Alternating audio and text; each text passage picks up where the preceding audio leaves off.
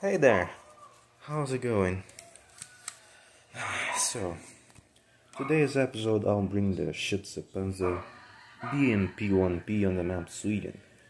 And this tank is very good at CQC or close quarter combats because he's ha he have good reload, he have a good round, and he have rockets.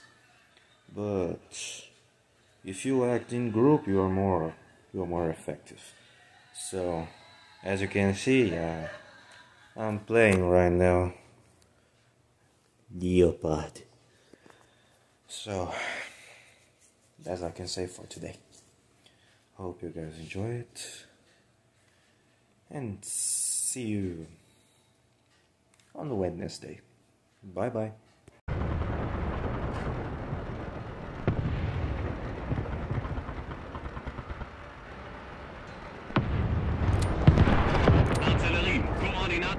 looking